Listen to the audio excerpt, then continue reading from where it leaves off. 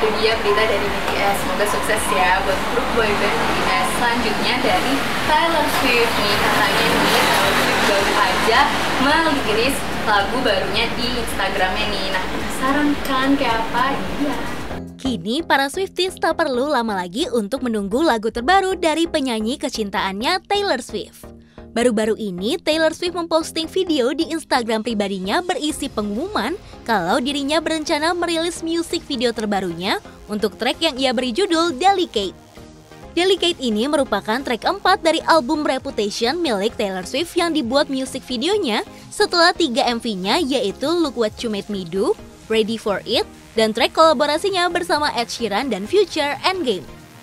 Kali ini Taylor Swift melakukan perilisan MV dengan cara yang tak biasa karena penyanyi yang terkenal dengan curhatan di lagunya itu akan merilis MV terbarunya pada acara award yaitu iHeartRadio Music Awards 2018.